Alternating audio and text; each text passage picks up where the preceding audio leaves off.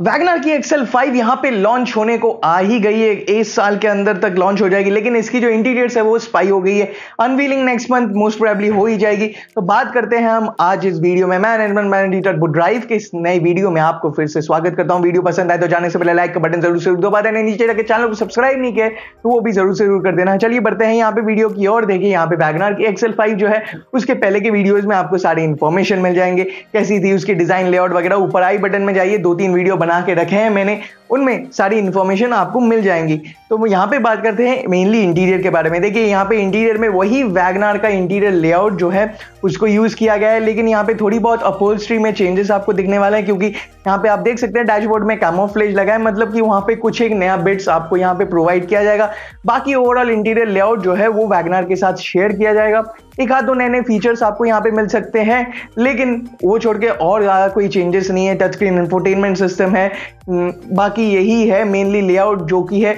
WagonR के साथ share हो रही है। डुअल टोन लेआउट है। ऑल ब्लैक इंटीरियर यहाँ पे प्रोवाइड नहीं की जा रही है। तो यहाँ पे नए फीचर्स की और अभी क्या एक्स्ट्रा फीचर्स रहेगा, उसकी इंफॉर्मेशन लिए लेकिन अच्छे से पैक हो गई automatic climate control airbags EBS EBD फिर साथ ही साथ पावर्ड मिरर्स वगैरह, जितनी भी इस सेगमेंट की बेसिक फीचर्स है, वो सारे आपको प्रोवाइड किए जाएँगे। एक अपडेटेड अपोल्स्ट्री प्रीमियम अपोल्स्ट्री यहाँ पे आपको मिलने वाली है।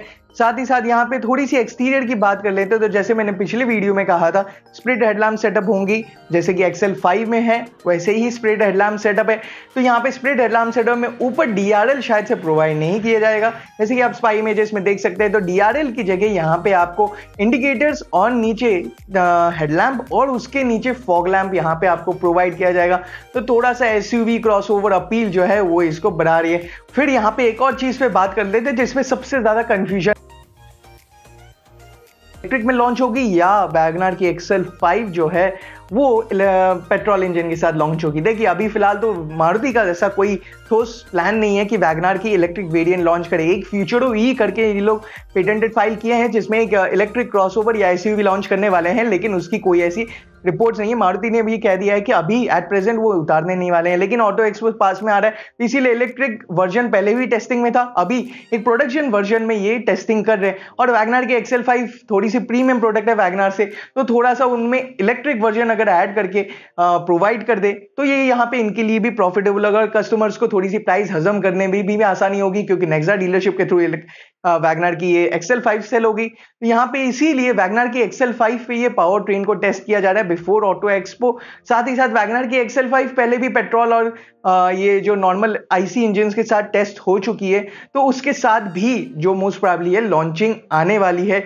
यहाँ पे वैगनार के XL five only one fuel नहीं होगा। यहाँ पे इलेक्ट्रिक और power petrol power train most probably दोनों ही होंगे।